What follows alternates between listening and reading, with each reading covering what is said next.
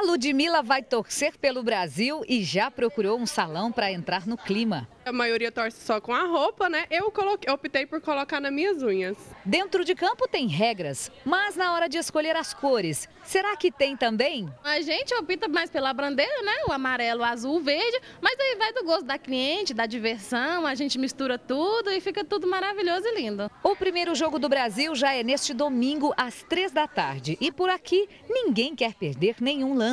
O salão vai fechar durante o jogo, só reabre depois. Duas e meia a gente vai fechar, vai todo mundo lá para cima para de alimentação. A gente vai reunir todo mundo, todos os setores para assistir os jogos. Retornaremos às 5 e meia e fecharemos às 8. A pesquisa do Datafolha apontou que mais de 50% dos brasileiros não está lá muito interessado aí nos jogos do Mundial, não. Mesmo assim, o jogo vai mexer na rotina dos shoppings no domingo. No Goiânia, as lojas fecham às duas e meia e reabrem às cinco e meia. O mesmo vai acontecer no Passeio das Águas. No Buriti, o funcionamento das lojas é facultativo entre as duas e oito da noite. No Flamboyant, algumas lojas vão abrir normalmente. Nesse domingo agora, o shopping está abrindo mais cedo, às 10 horas.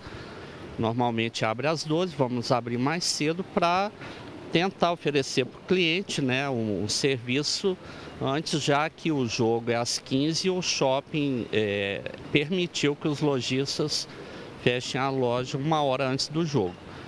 O jogo terminando, uma hora depois, as lojas também vão reabrir. E durante o horário de, do jogo, provavelmente vamos ter também algumas lojas funcionando que já informaram que não fechariam.